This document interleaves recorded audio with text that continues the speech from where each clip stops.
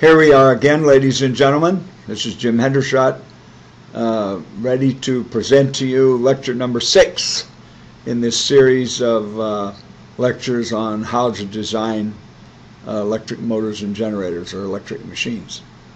This particular uh, lecture involves the losses in electric machines. As we know, the efficiency of the machine is based on the output power versus the input what percentage of the input power is transferred or transposed or converted into mechanical power. And so that process is the efficiency and what uh, what uh, uh, reduces the efficiency or increases efficiency has to do with the losses in the machine. And so, uh, how are the losses distributed in a in a motor? Well, there are you have the input power going to the stator in the case of all these three motors. Then you have in the stator, the, the stator produces copper losses from the current flow in the conductors. That's, called ohmic losses. And that's, of course, uh, current squared times uh, the resistance. That's the copper losses. And then also in the stator, you have uh, uh losses in the iron itself, in the steel, in the laminations, in the sintered material which is uh, uh, made up of magnetic material. And uh, since these machines are bipolar, in other words, uh, the flux is north and then it changes to south, that means there's flux reversals. That means it goes through zero, uh, and that flux is a, is a, is a dφ and it's based on the uh, the frequency of it. it is based on the commutation frequency and the PWM frequency that used to chop the voltage to control the current so that you get both eddy current losses and hysteresis losses in the iron. Now in the rotors, the rotors are a little different. That depends on what kind of a which of the three machines it is. The induction motor rotor has copper losses, but but very little neg negligible iron losses. The uh, the hysteresis synchronous motor has some eddy current losses, but not too bad. No copper losses at all. The permanent magnet machine, depending on its design, uh, uh, can have eddy current losses in the magnets and even in the core, and certainly in the retainment sleeve if it's used to uh, hold the magnets uh, onto the OD of the rotor. But since there's no windings, there's certainly no ohmic losses or copper losses. Then, then uh, you, you've developed mechanical power from uh, the results of the input power uh, and the efficiency of the energy conversion. So in the air gap and at the shaft, you have developed, uh, you've converted that to power. But you have some additional losses now. You have the frictional losses of the bearings, or in the case of commutated motors, you have the frictional loss of the brushes rubbing on the commutator. In the case of a of these uh, generators, these induction generators that are used in uh, for wind turbines. You have uh, three slip rings and uh, multiple sets of brushes, copper graphite brushes, which act like little brakes, and those are like little uh, friction brakes on the shaft. So you have losses from that. And then machines that run high speed or even reasonable speed machines with real small air gaps like induction motors will have uh, some windage losses as well. There are some other losses that take place uh, in the air gap, stray load losses and zigzag losses, and those can be significant in some uh, designs, but uh, uh, other designs. Uh, PM machines don't seem to have too much of that, but induction machines do. The uh, we've sort of defined what the losses are already. Uh, the uh, those losses having to do with the uh, current flow, or I call ohmic losses, or I squared R losses, and the the iron losses have two components: hysteresis and eddy current. We'll look at those in a minute. And uh, those uh, eddy current hysteresis losses occur in the stator, of course, but also in the can happen in can take place in the magnets, the cores, and retention sleeves. And then we already mentioned the mechanical losses from windage and bearing friction, and here stray stray load losses are because of load uh, current related load reactance fluxes. The uh,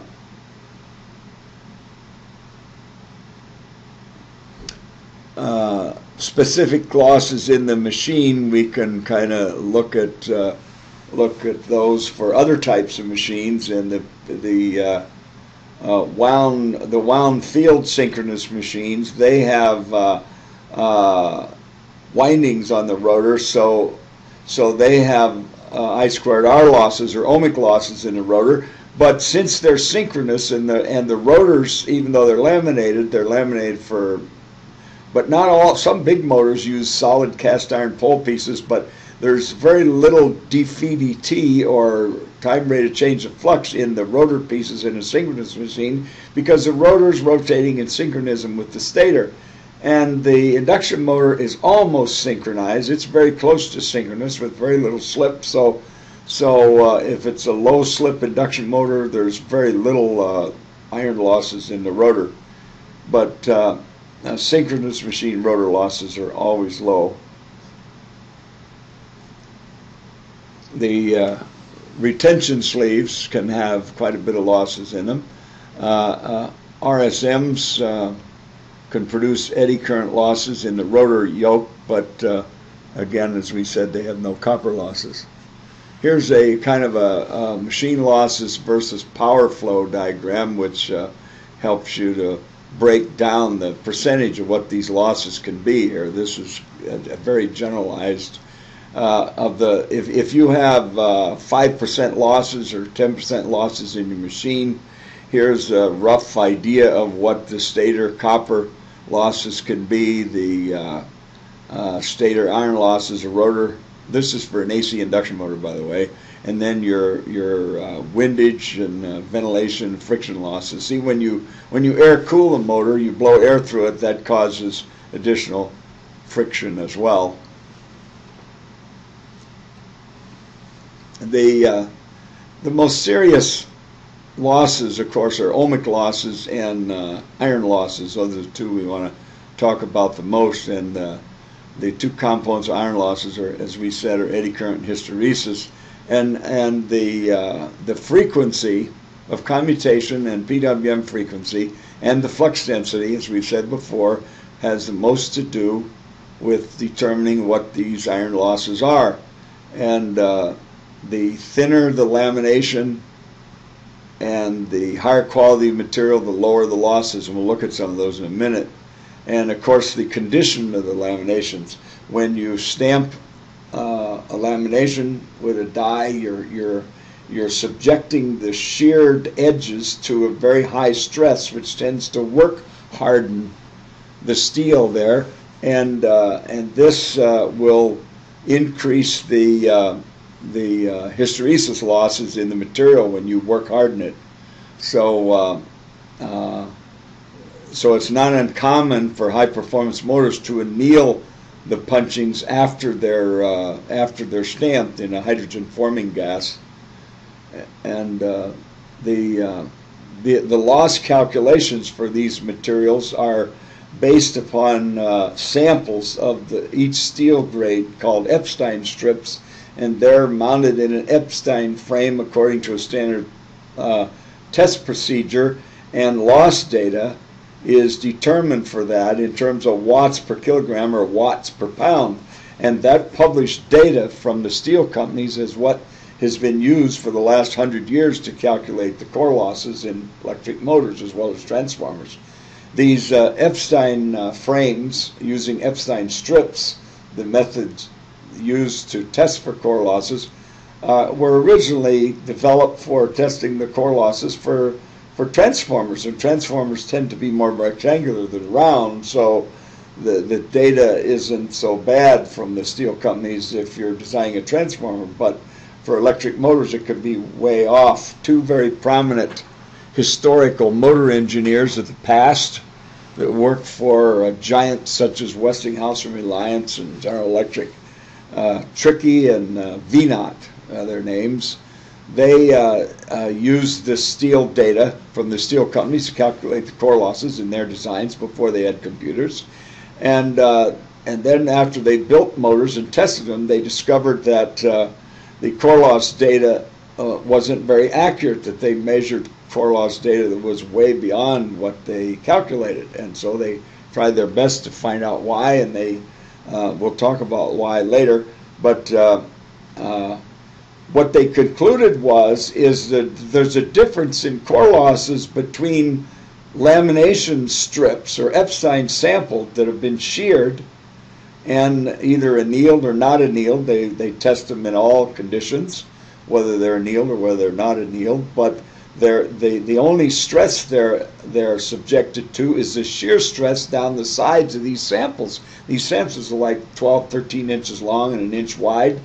And uh, so it, the percentage of the sample that's been work hardened by shearing is very small.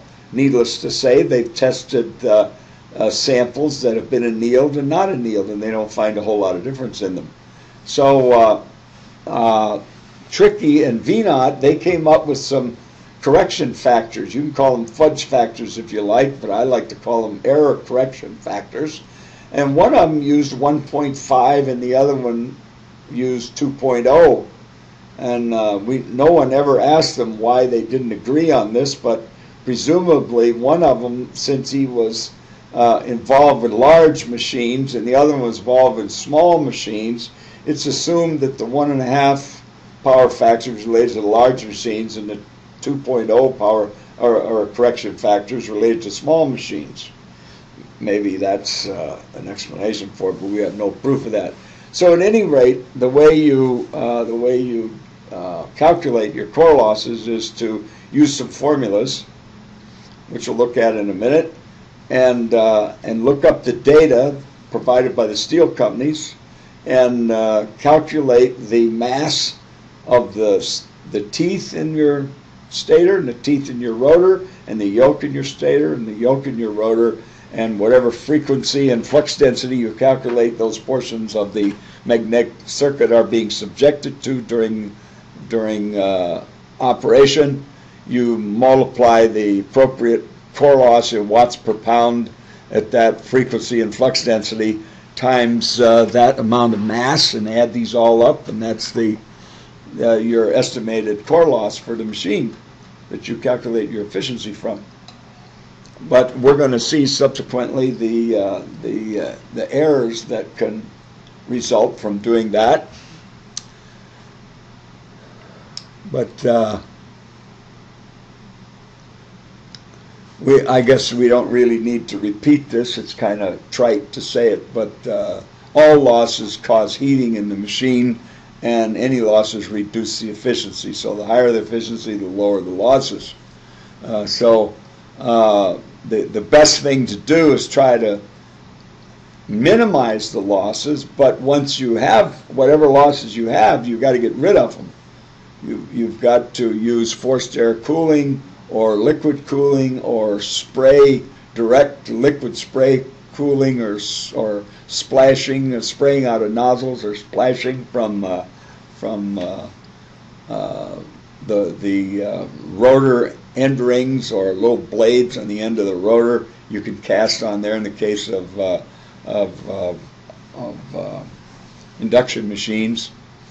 And uh, of course, another thing that helps uh, with the hot spots is to encapsulate the stator, or at least the end turns, in a good thermal conductive material, the types that I spoke about in an earlier uh, lecture that has high thermal conductivity. Some of these new thermoplastics and epoxies that are filled with uh, the nitride materials and oxide materials that uh, improve the thermal conductivity. Uh, anything you do to reduce the efficiency or get rid of the heat caused by these losses increases your rated torque density and of course power density as well. So uh, uh, So uh, you could take any existing machine and cool it and increase its uh, torque density, as well as uh, trying to design the cooling abilities into the into the uh, into a new design. We're going to talk about more about this later, but uh, it's worth mentioning at this point that large machines have the sources of heat, the worst source of heat, the ohmic losses, deeply buried inside the uh, core of the machine. So you you could think of the distance from where that source of the heat is created to where it's removed from the machine as the thermal diffusion path distance. So so large machines have very long thermal diffusion paths distances. So the uh, you can get very rapid heating up of the copper wires if it's a long path from where they're located through uh, the stator core uh, to some cooling mechanism like uh, forced air or by uh, a liquid cooling jacket around the outside of the stator. So it's not uncommon to to uh, assemble cores in rotors and stators with with cooling passages through them, with vent uh, spaces between sections of the core, and the conductors in the stator and the rotor pass through these cores and are exposed to the to whatever cooling media is pumped through those. In large uh, power plant generators, uh, hydrogen and nitrogen is used to cool stators with long diffusion paths through these uh, these spaces. We're going to look at some of those parts in a, in a later when when we study the the uh, uh, lecture on uh, cores and laminations. We'll see some of those parts and some examples of those uh, those cooling vent passages through the cores. But all those things improve the torque density of the machine. Uh, the uh, how do we reduce the uh, electric losses? Well, the, the best way to reduce those is to make the conductors as large as possible, uh, or uh, um, or use real strong magnets so that minimizes the number of turns you need. So, but if in a permanent magnet machine, if you use the strongest magnets available, then uh, you have lots of flux, so you don't need as many turns uh, for the same amount of current. So, uh, so what you do is you uh, uh, are able to use a larger cross-sectional wire because there's fewer turns in the slot, and this reduces your your current density and your ohmic losses. In the case of an induction rotor, you can use copper bars instead of aluminum. Now, uh, induction motors that ran off the grid, that were powered off the grid, they like to have aluminum bars because starting torque was so important that they needed high resistance for starting, so they used aluminum. They, that, that's not the main reason they used aluminum bars. They used aluminum bars in the squirrel cage of those machines because it was cheap because they could die cast the aluminum. In those days, when that, all those designs started, they couldn't die cast copper. Well, these days they can die cast copper. So there's no real need to use aluminum rotor bars in motors that are are driven by inverters. You might as well use copper rotor bars if you have enough volume to justify die casting them. Uh, because you uh, make a big difference in the efficiency of the machine by using uh, copper bars of aluminum. We'll look at some comparisons of that. We have some actual comparison charts in it in our rotor design uh, lecture for induction machines. And uh, you could see that not only does it improve the efficiency, but it also reduces the heat in the rotor because the ohmic losses in the rotors are lower because the current density is lower because the copper has a higher uh, uh, has a lower resistivity than aluminum does. So uh, the other thing we can do to reduce the electric losses is to uh, not only to fill the slots with more copper or, or uh, use stronger magnets, but we can also wind the coils with shorter turns. We mentioned that before too. Uh, then uh, the other thing we can do to reduce machine losses is to uh, punch the cores out of lower core loss materials use insulating coatings on the lamination to insulate the interlaminar uh, paths for eddy currents. You insulate those paths and, and reduce eddy currents. And, uh, and then how you fabricate. It turns out that the main reason that the core losses on a tested lamination sample is much lower than the, what you get when you build the motor is because of the the uh, fabrication losses of the core itself. So uh, that's a whole topic that we're going to discuss in a little while. But uh, uh so the point is, if you measure, uh, you some companies are, nowadays uh, these core loss issues are so serious that they're measuring the core losses of the entire stator. We offer a service to do that, as a matter of fact. So you could try different fabrication methods of stators and uh, and measure the, uh, the, the whole core loss per pound. You have to weigh the stator to start with, so you put it in the same units as the uh, core loss published data for the lamination grades themselves. But you can compare what you lose. I think uh, we believe that's what accounts for the differences that the uh, the two famous engineers, Trickey and Veinott, found was due to the fabrication losses. Uh, stamping, hardening uh, of the uh, of the steel along the sheared edges from stamping a lot of slots, and uh, then shorting of laminations one to another, even if they're core plated. If you have a worn die with big burrs, when you nest all the lams the same direction, why you you could short the lams all along the sheared edge through the burrs.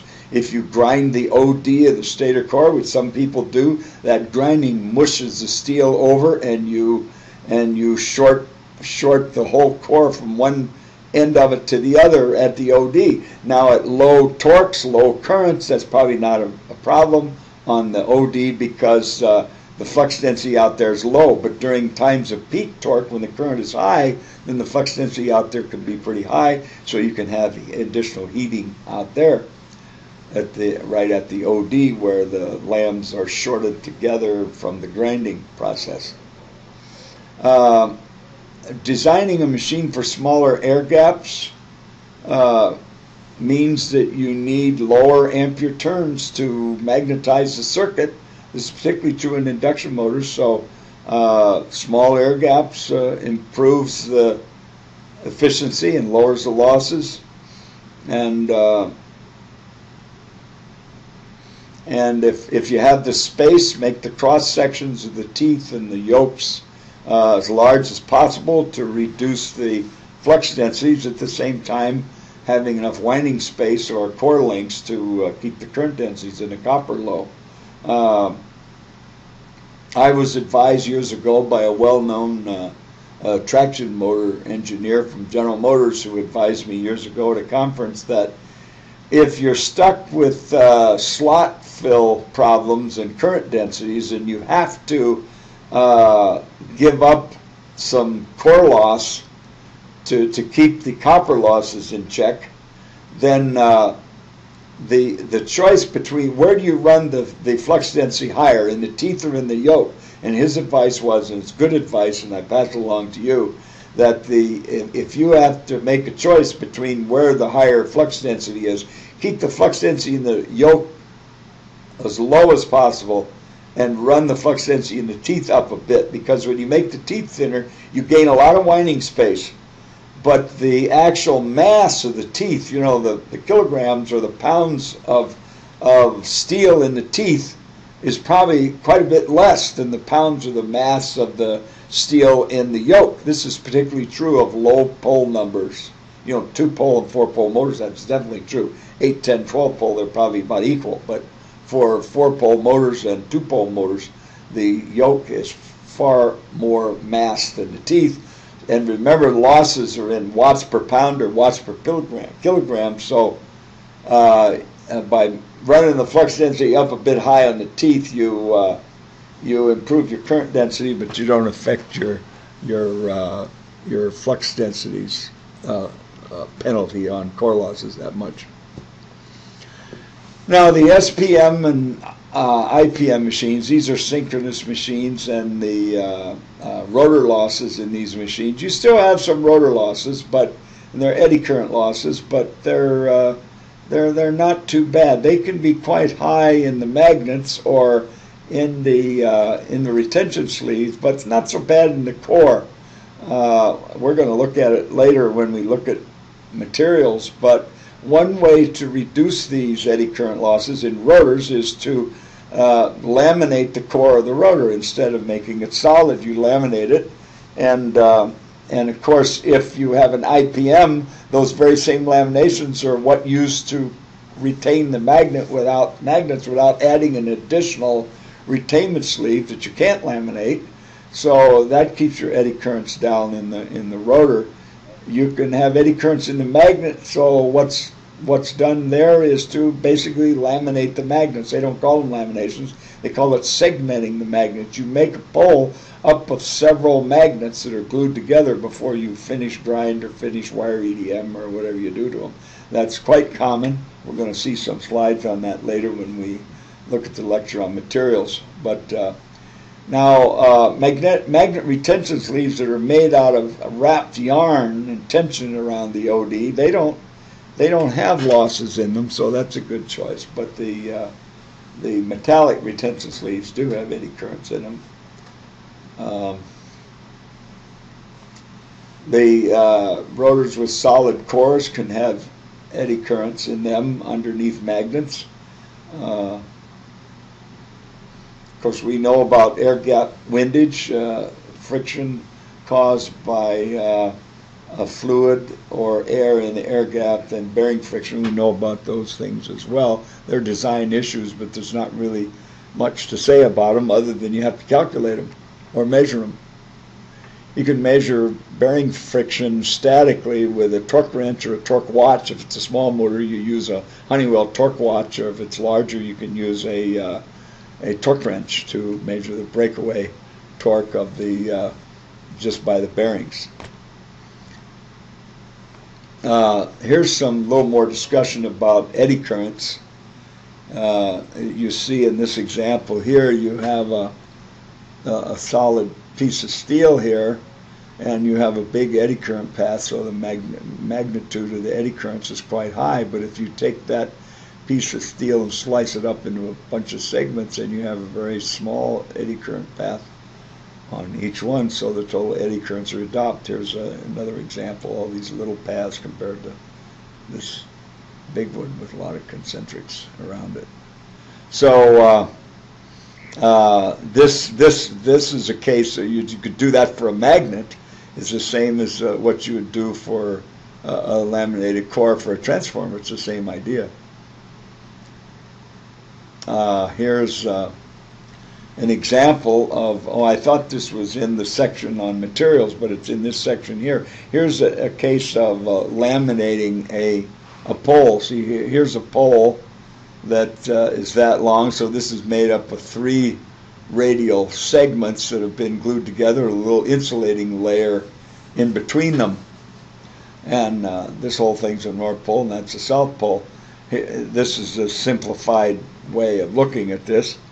And uh, what what uh, you can do is you can use a finite element uh, batch files to solve for uh, the uh, the eddy currents.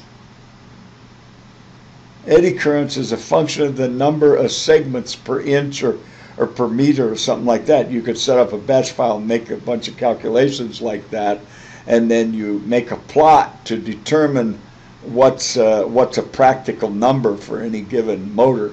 You know, you get to a point of diminishing returns, and uh, so uh, the, one of the magnet companies, Shin-Etsu, a, Jap- a big well-known Japanese uh, magnet company, they offer a service to uh, to take your design and run it through their software to tell you if you need segmentation of your rotor magnet poles in your particular application. And if you do, they'll they'll give you a plot like this, telling you, uh, give you an idea of uh, how many uh, slices per meter or per inch is practical.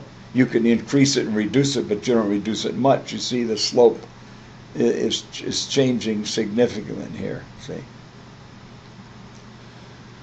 And uh, uh, what what is the uh, relationship between power loss and hysteresis loop? I guess you know what hysteresis is. Uh, we for a permanent magnet, we like hysteresis. For laminated materials, we don't like hysteresis. This looks like something like a permanent magnet. If I have a permanent magnet and I start with a uh, a field string, ampere turns, big coil, the the uh, flux would rise and come up the air, and then I would turn the turn the power supply off, and so the flux would uh, decay. It would come back, and and so the stored magnetic flux density in that magnet is, uh, stays at this value here. That's residual magnetism, isn't it? We like that for a magnet. We want lots of residual magnetism for a magnet, but for a soft iron uh, laminated part of the circuit that we're continuously changing the polarity of it and uh, as the motor rotates and, uh, and we're completely adjusting we want the flux to be adjusted in there from the coils that are in the stator then we we want this to be zero. We'd like this to go through zero or closest to it as possible. So uh, so this this is a, a, a, hysteresis loop of a soft material, not a very good soft material. It's got too much residual magnetism. And here's the uh, hysteresis loop of a hard magnetic material, which is a uh, like permanent magnet. By the way, these are these are backwards. This this term is supposed to be over there, and this is supposed to be over here. Hard magnetic materials are permanent magnets, and soft magnetic materials are electrical laminated steels. That's a typo there. Sorry about that. Uh, here's uh, different ways that uh, uh core losses have been calculated uh, with a uh, accuracy estimate. Steinmetz equations, modified Steinmetz equations, improved further modified Steinmetz equations, loss separation model after Bertotti and dynamic hysteresis model, loss surface model. You can read about this in this uh, uh, in this uh, publication here, overview and comparison of iron loss modules for electric machines. Uh, it's from, I believe it's from Italy, and uh, it, how, useful this is, uh, it's not very useful to me. But if you want to make a big study of this, my uh, my suggestion to you is to make measurements, make your own measurements, and calib to to uh, based upon how make measurements on the cores and use that data to predict uh, your new design, and then model it with finite element software and calculate the core losses and using core loss data that you got from samples you've measured and uh, or or use the steel data that you get from the steel company, but you're gonna or you're only going to have crude estimates of what the losses are going to be if you use that method. You're going to have to uh, use some kind of a fudge factor, and as you get a history of building motors and testing them, you can improve your own calibration factors. So, uh, what are the factors that affect core losses? Well, this, the, the thickness of the steel and the grade of the steel. And standard uh, steel grades come in 0.35 millimeter, half a millimeter, and 0.65 millimeters. These are three gauges. The, the American grades for this are are uh, 29 gauge, that's the 0.35, and uh, 26 ga gauge, that's the 0.5 millimeter, and the 24 gauge, that's the uh, 0.65 millimeter. And the thicker materials have very high iron losses per kilogram or per pound. And, and uh, these losses are based on published data, which we're going to look at in a minute, and it's based on published data by the steel companies.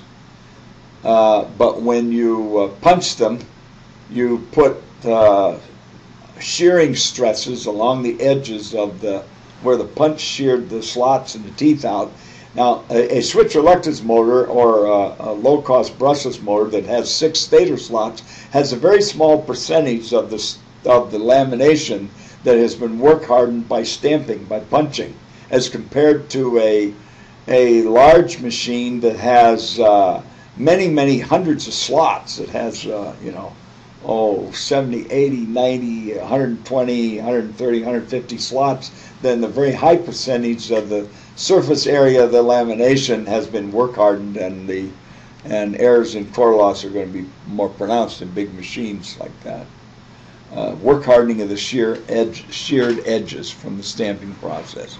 So, so what's common to overcome some of these uh, uh, core losses of laminations is to uh, coat them with a core plate or put an iron oxide on them.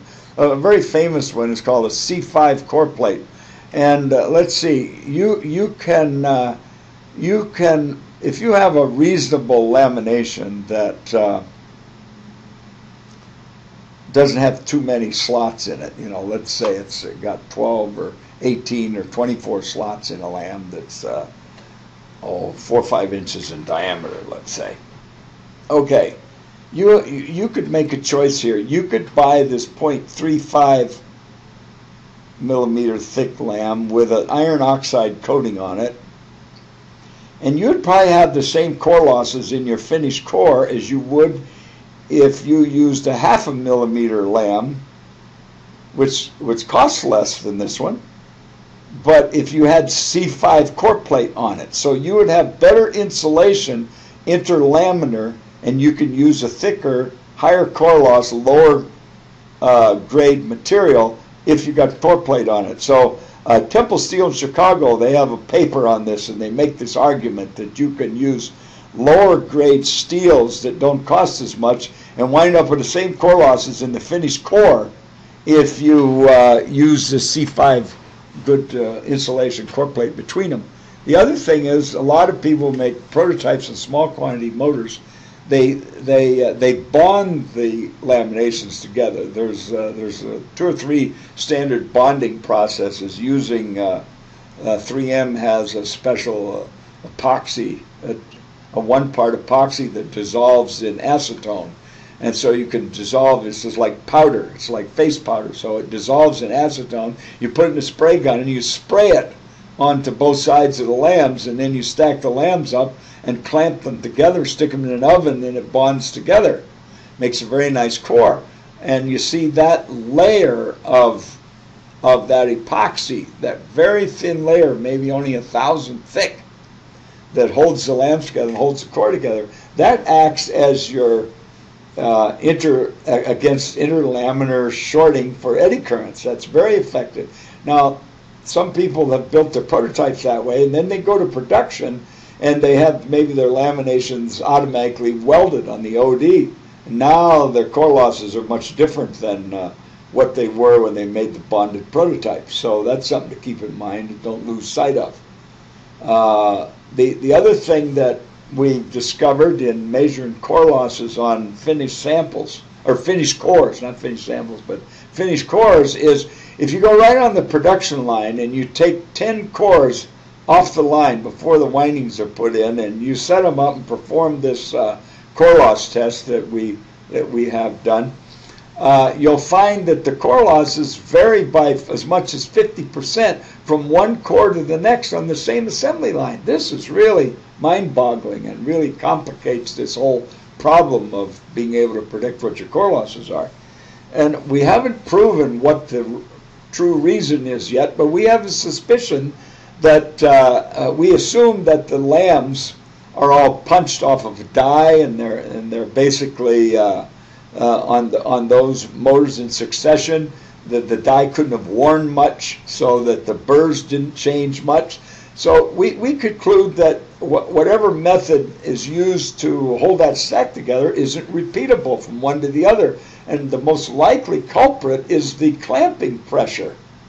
We found this to be true of welded stacks, so that if you clamp one stack real tightly together with, uh, with a ton of force, when you weld strips on the OD over the center teeth, and then the next one you have a lot less clamping pressure. Like, for example, how would this clamping pressure vary? Well, it would vary if you had a fixture that you put a big washer on it and a big nut that you tightened up, or several screws or threaded fasteners that you had to torque down and tighten to uh, apply the clamping pressure. So, so it, uh, so it's important that the tooling design, the fixturing, makes that clamp, clamping pressure repeatable.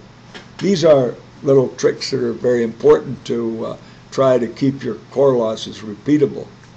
Uh, welding, of course, uh, cores can cause shorting as well. So the welding has to be done properly. Some companies will leave a big groove. They'll stamp a big groove in the OD of their their stator cores to allow for welding. Then they put a big weld bead across there. And that is not the right way to weld. Uh, people think that a lot of manufacturing engineers believe that when you weld something, you build up material. But if you use stamped laminations and you stack them up and you weld them by out heating the material in a fine bead or a fine line using a laser welder or a TIG welder, a tungsten tip with inert gas uh, environment, and you don't add any filler metal, there's no way you could build up and have the ODB larger than the lamination from that weld because the stamped edges have a breakaway side. They're actually uh, one side of the lam is smaller in diameter than the other side of the lam. So when you melt and alloy the metal together, the result is actually a little depression of the weld, not a uh, not a protrusion of the weld, but a TIG weld or a laser weld gives you an actual depression, and uh, it's easy to test and prove that. So that um, and the only place you might get a protrusion is where you start the weld. You might you might get a little tit there where you start the weld or end the weld. So the weld should never be started or, or, or ended on the core itself. It should be started or ended on a copper piece right next to the core. So you make the arc on the copper and then feed the torch, the laser or the TIG torch, across at a uniform rate across the uh, the stack of lams and, and let the arc be broken on a piece of copper at the other end of the core. Then you don't get any buildup at all, and you keep the welds as small as possible. It's better to have several small welds on the OD, and they should be like of the order of one and a half millimeters wide and a quarter of a millimeter deep. That should be the penetration to hold your cores together. And, and if you have four or six or eight wells, depending how big it is, uh, in the center of a tooth, and they're TIG or laser welded, you shouldn't have any uh, core loss problems. But there again, you could test one that's been bonded versus one that's been welded. Try to avoid grinding the OD. It's better to turn the OD than it is to grind it. Uh, Another phenomenon that occurs with uh, machines that uh, have cores that are made and uh, and they're they're shrink fitted inside of big cast iron frames, fin frames. People who've done that have discovered that uh, that the uh, the radial stress on the yoke of the core of, of a stator will uh, re- will increase the core losses due to that uh, uh, constant stress on it from the shrink fitting of the uh, of the stator core into the frame. And as a matter of fact, step motors, small precision angle uh, step motors, they're so critical on torque angle accuracy. They uh, they actually don't shrink fit the the lams. They uh, what they do is they they bond them in with Loctite. They bond them in. They have very close fitting OD of the lams, ID of the housing, and they bond them in with Loctite. Or with uh, thermal uh, silicon. Bond them in with thermal silicon that not only bonds them, but it dampens them a bit for noise. And thirdly, it uh, it provides a little better better thermal conductivity between the the laminations and the aluminum housing. Uh, here's the core loss formulas. You could calculate the, the core losses for each uh, for each of the uh, sections of the machine, but you have to uh, generate these Steinmetz coefficients for eddy currents and hysteresis losses. It's better to let a computer do that for you. Now here's a uh, here's a, a, a summary of core losses for different grades of I American Institute of Steel. The the electrical steel grades, the old grading system used these M numbers, M15, 19, 22. The the smaller the number, the lower the core losses. And here's your watts per pound at, uh, at 60 hertz uh, and uh, and 50 hertz watts per pound, watts per kilogram And this is uh, uh, this is 1.5 Tesla flux density, or 15,000 Gauss. That's 15,000 Gauss at 60 hertz, and this is 15,000 Gauss at 50 hertz. And here's your core losses per pound in watts per pound. You're talking at 1.6 pounds, but uh, and and if you go from the the this is equivalent to about a half a millimeter, and this one's a quarter of a millimeter. So so you see, let's do a comparison here. So your your uh, a very common electrical steel is this M19. So that uh, with 26 gauge M19, the core losses per pound are 1.74 watts per pound. So that same thing in a thicker gauge, uh, it jumps up to uh, uh, about 15%. Uh, it's 2 uh, watts per pound. That's a big difference. And as you can see, uh, the same thing if you go up to real low cost, like these materials up in here, these materials here are the ones that are used in your refrigerator and uh, ceiling fan motors and things like that. Very, very twice the core losses of these steels here, you see. Then the M15 is the lowest of the silicons. Then you have to go to uh, Carpenter 49 or to uh, uh, uh what's the other one? Uh, I, I, forget what the other trade name of Carpenter 40, Hyperco 50 it's called, Hyperco 50. They'll have core losses half of these again. Uh, here's another list of core losses. Here we are at our 15 kilogauss, 50 watts and uh, or, or 50 hertz and 60 hertz, and uh, it, it's all all three gauges are listed here for most of the gauges for each of these. Uh, here's the new uh, IEC part numbers for these steels are are listed here. See, the the IEC, that's a European standard, they don't have exact equivalent grades to to the the American standard grades, but so so their half a millimeter lam is 0.0197 inches. Our half millimeter lam is close, but it's a little off, you see and so there's a slight difference in core loss, even though uh, this is thicker, so the core loss is a little higher. But uh, the, these are the charts that are, are used to measure core losses. The trouble is, these are these are given that for uh, one flux density and one frequency or two frequencies. And to calculate Steinmetz coefficients, you need more data than that. You have to have uh, loss data for uh, at least uh, three uh, different uh, flux densities and frequencies.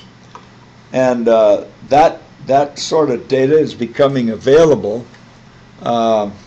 We talked about this topic here. We're going to come back to the availability of that new core loss data in a minute, but right now this is what I was talking about before is that the standard those core losses are taken under ideal conditions of sheared samples of of each one of those examples of steel and uh, and uh, to to advertise your steel as one of those grades you're supposed to meet those standards but uh, each manufacturer is slightly different uh, but motor magnetic circuits are not they're not rectangular they're not square they're round so that uh, has an effect on this data as well and the, uh, as I said before, the core manufacturing process uh, changes the actual losses from what you're going to use from that published data.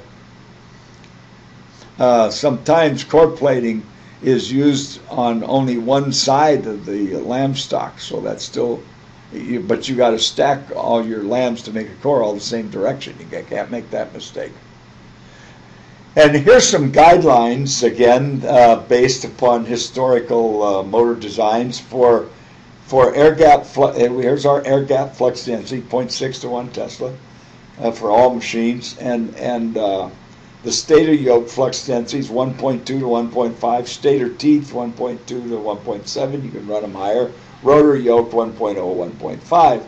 Now, uh, in, in classes I've given, I've asked, I've presented this chart Then I ask people in the in the class what kind of numbers they use in their in their company for the motors that they uh, that they design, and boy, they give me all kinds of numbers all over the place. I'm surprised at the number of people that will run their flux densities up to 1.7, 1.9, 1.8 in the teeth and the yoke. I'm really surprised at that. When, when we study materials and look at the uh, BH curves of materials, I'll show you the, the price you pay in ampere turns for it to do that.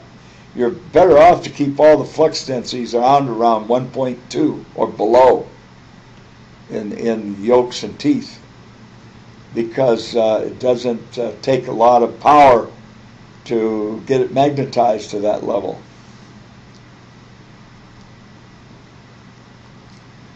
And as I said before, the flux density in the stator yoke, high flux density in stator yoke, affects the iron losses more because there's more mass there.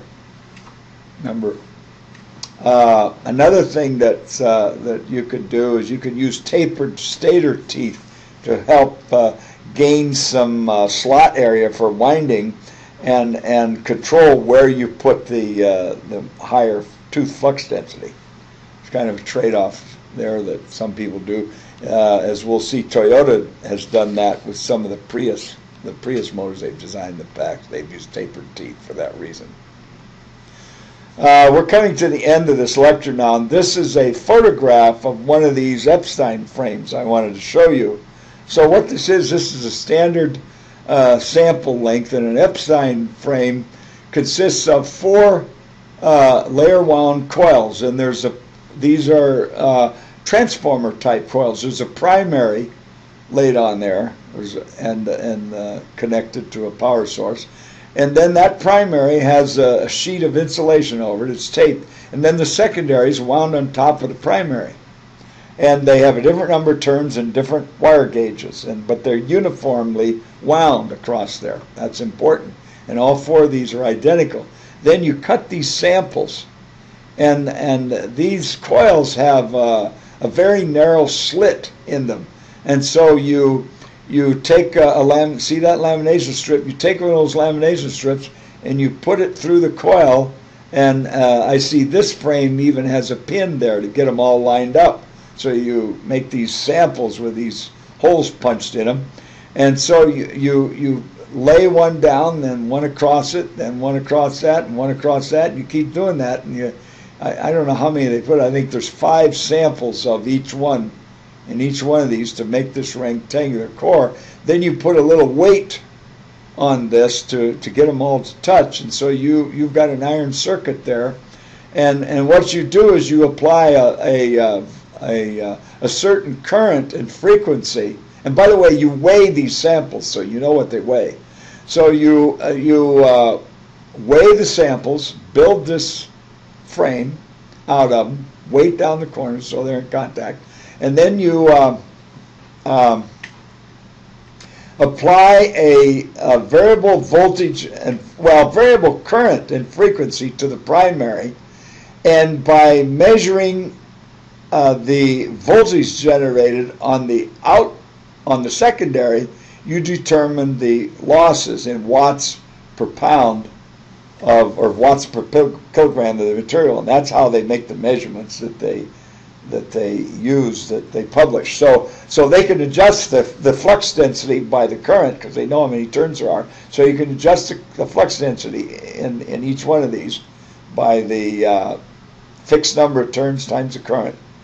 And because uh, you know what the, they know what the cross section are, they measure the cross section, and so they know how many ampere turns it takes to get different flux densities. So so that's an input, and then you measure the the transformed output voltage, and uh, and you know what it should be because of the transformation ratio between the the primary and the secondary, and, and but but you don't get the same output voltage, you get something less, and from that they calculate the uh, the core loss. So that's the end of this lecture. Thank you very much.